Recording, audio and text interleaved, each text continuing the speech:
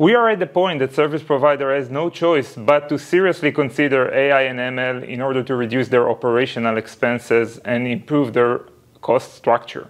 My name is Moshe Lavi, and I'm leading the product management team in SDE division of VMware by Broadcom. With my role, we are specifically focusing in order to develop automation and assurance tool in order to help service provider to reduce their cost structure. So first of all, let's talk about new types of 5G cell site. Today, the cell sites are deployed on top of a virtual stack, which obviously bring another level of abstraction to end complexity to the service provider network. Today, instead of deploying in a silo, service provider need to have a cloud stack that runs over a server that connect into a physical networking along with the DU and CU application. We already discussed four different layers that assemble one network function. With this amount of granularity, the user can expect many faults and many performance metric that will jump up into his network. What we are doing in our BU is to work on a solution that help the service provider to better analyze and get a grasp of the metrics and the faults that he see. Now let's talk about AI and ML.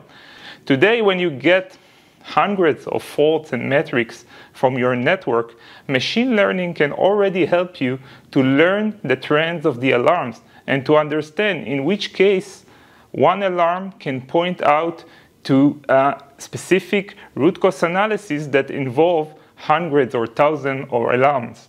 That's what we do with our service assurance solution. We learn the trends, we see what kind of alarms can cause one reason, and we help the user to automatically open a ticket to his engineer along with a suggested root cause analysis and way to handle the problem in order to reduce the time.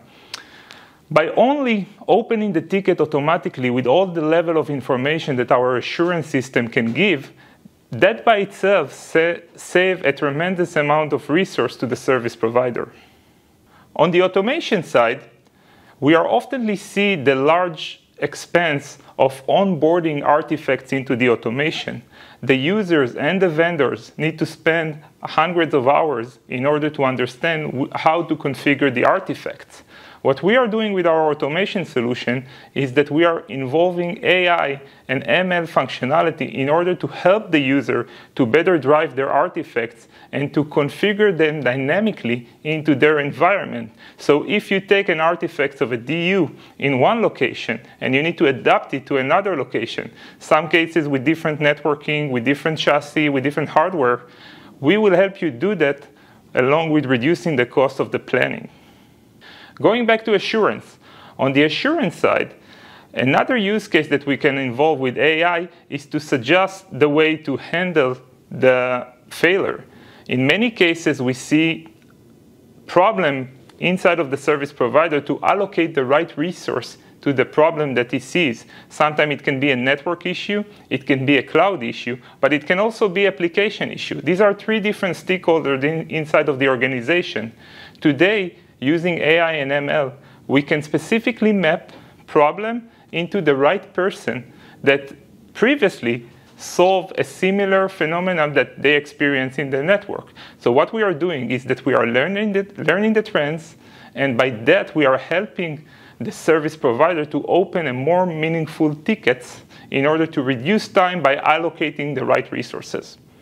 In a similar way, when it comes to automation, when we deploy the network function and the deployment is going over the cloud, we see some cases that the deployment or the upgrade of the uh, application, what we call day two, is oftenly getting failed in the middle. What we, we are doing today with AI and ML is that we are helping the user to pre analyze the environment and to avoid cases where the upgrade or the day two operation, like scaling, that the user can run, will fail uh, once we are running our automation to achieve this day one or day two operation. In, in some cases, we see that pre analyzing and pre uh, verification of the environment will help the user to save time and avoid hassling of troubleshooting a failed deployment or a failed day two operation. So at this point of time, when we see service provider mainly trying to target their cost structure in order to generate new revenue instead of shifting more resources to handle operational expenses, AI and ML are really important on the automation and assurance side in order to allow service provider to adopt new technologies which combine a higher level of granularity and a higher level of complexity, but at the same time keep the same cost structure and avoid investing in uh, additional operational resources.